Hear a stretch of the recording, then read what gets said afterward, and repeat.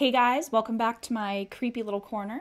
If you are familiar with these surroundings and know who I am, that is pretty groovy. If not, my name is Madelayne Klein, and I talk about all things Canadian true crime, missing persons, mystery, and history. Recently, someone reached out to me regarding Provost, Alberta, the murders, and the dark racist history which I had no idea about. But in my search, I learned about 23 year old Tim Salsman, who was beaten, killed, and dismembered over a $1,500 drug debt on August 2nd, 2004. Here is that story. So, Tim Salsman was born May 7th, 1981, in, I believe, St. Albert, Alberta.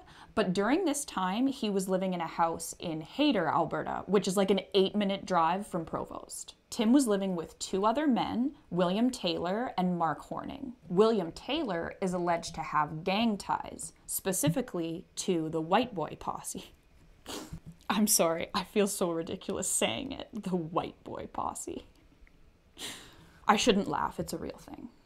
Anyway, the White Boy Posse is a neo Nazi white supremacy group actually founded in Edmonton, Alberta in 2003. The founder leader of the White Boy Posse had close ties to the Hells Angels, which is why William Taylor was selling drugs on their behalf. Tim allegedly used some of the drugs he was supposed to sell, and that's where this $1,500 drug debt came from. On the evening of August 2nd, 2004, Tim, William, and Mark were all drinking at a local bar. It was at this bar where William and Mark started brutally beating Tim over this drug debt. Tim was nearly unconscious when he was thrown into a truck and taken back to their house in Hayter, where they had to carry him into the house and down to the basement. He was already in such bad shape. They brought Tim to the basement of the house where William continued to beat and torture him. William used a power saw to remove Tim's hands and cut his legs while he was still alive. There was a key witness named Lee Morgan who was present in the basement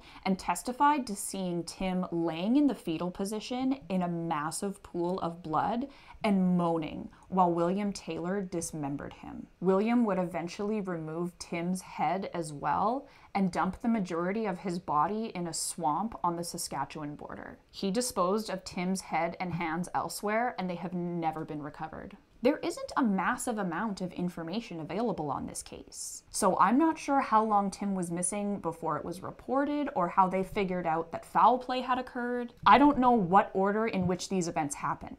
I imagine there was a ton of forensic evidence in the house, enough to establish a murder had taken place because eventually William Taylor and Mark Horning are arrested and charged for the murder of Timothy Salsman. On February 5th, 2007, William Edgar Taylor was found guilty of second degree murder and sentenced to 18 years without parole. He was offered a lighter sentence in exchange for where he put Timothy's body, but he refused. Also, the only reason he didn't get first degree murder is because there was a reasonable doubt Tim had been tied up. That was the deciding factor. Mark Horning was found guilty of manslaughter on May 21st, 2008, and was sentenced to 11 years in prison. However, they credited his time served and doubled it. So he had spent three and a half years in jail. For some reason, they doubled that credit to make it seven years, leaving only four more years to serve. Jail math is so weird. Mark maintained he left the basement while Tim was still alive and didn't participate in any of the beatings that occurred at the house. It's also said that he was given a lighter sentence because he ended up indirectly providing investigators with enough information to find partial remains of Tim.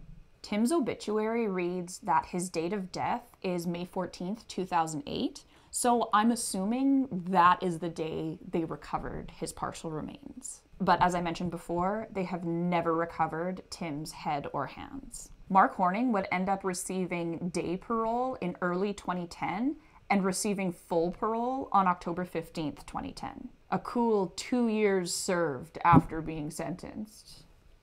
2010 was 13 years ago. Who knows where he is or what he's doing now? Time flies, and William Taylor has already served 16 of his 18 year sentence. He's up for parole right quick here. Who knows, with our lackluster and abysmal justice system, they might actually grant it. All we can do is wait and see, I guess. I really hope this psychopathic monster never roams free again. So that is pretty much it on the Tim Salsman case. It's so sad and so unnecessary. Killed over a $1,500 drug debt unimaginable. I'm going to look more into the racist history of Alberta and probably talk about that in an upcoming video. I'm not sure why I continue to allow myself to be so surprised that my neighboring province is so racist, but I, I keep letting myself be surprised and I shouldn't. Maybe I've just been like living with my head buried in the sand forever, but I can't believe that there are Nazis in the country